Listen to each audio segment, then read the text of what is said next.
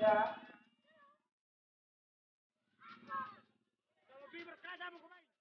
Yang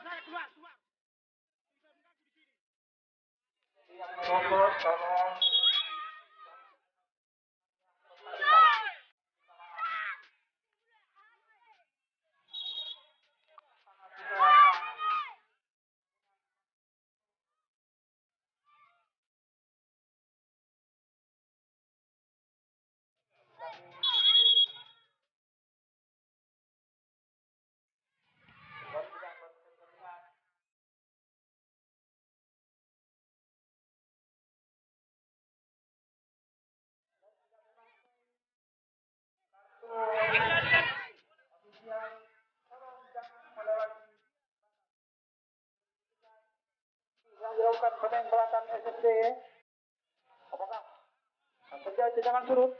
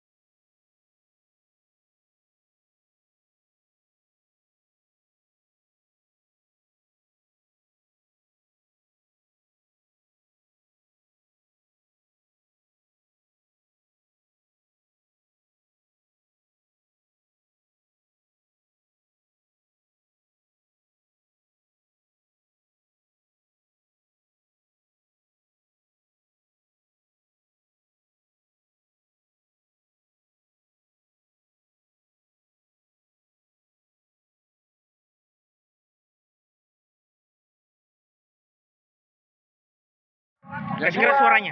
Jadi ah, sejak digulirkannya ini Cup, memang kami lebih mengutamakan masalah keamanan dan ketertiban. Oleh karena itu kami selaku pemerintah desa, selaku tuan rumah penyelenggara Arsal Cup 2 ini, kami sejak dari awal membentuk satgas yang ada di desa bekerja sama dengan pihak kepolisian untuk mengamankan, mengendalikan keamanan dalam kegiatan ini. Dan memang namanya sepak bola tentu ada hal-hal yang di luar dugaan yang terjadi di lapangan dan insya Allah kami dan seluruh teman-teman Satgas kepolisian akan siap mengamankan apa pun itu yang berkaitan dengan kegiatan ini. Kalau ini tadi Pak, antara apa dan apa, kenapa sempat baku kles?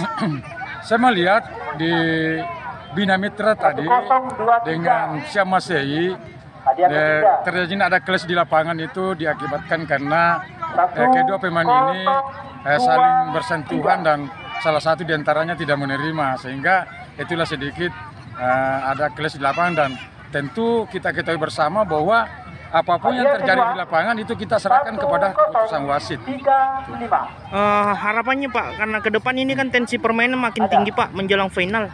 Harapan kami ke depan, nah, tadi saya sudah sampaikan juga ke, kepada panitia penyelenggara bahwa setelah empat besar ini kita lebih intensifkan kegiatan-kegiatan kerja panitia dan khususnya keamanan.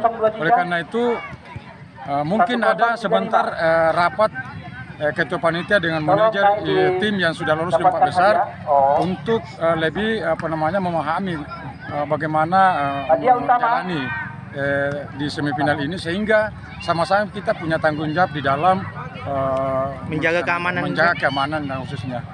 Oke, makasih Pak.